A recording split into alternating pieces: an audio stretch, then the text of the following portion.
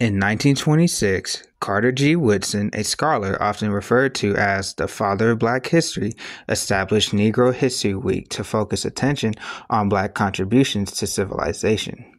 He chose February because of Abraham Lincoln and Frederick Douglass, whose birthdays were both on February, and what Woodson felt were two people that were central to helping to afford black people the experience of freedom that they have now.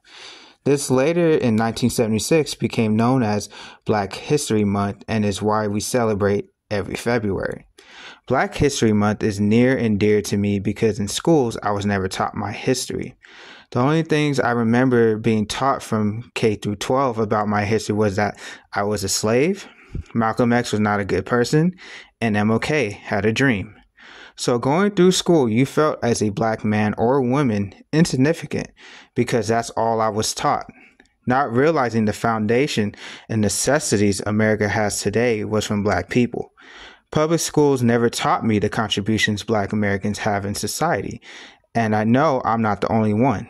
With that being said, this whole month of February, I'm going to talk about the contributions of black people that either wasn't taught in schools K through 12 or that I felt should be highlighted this month.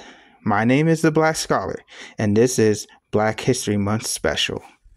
I am the stone that the builder refused. I am the visual, the inspiration that made ladies sing the blues. I'm the spark that makes your idea bright. The same spark that lights the dark so that you can know your left from your right. I am the ballad in your box, the bullet in the gun, the inner glow that let you know to call your brother son. The story that just begun, the promise of what's to come. And I'ma remain a soldier till the war is won. won. Chop, chop, chop,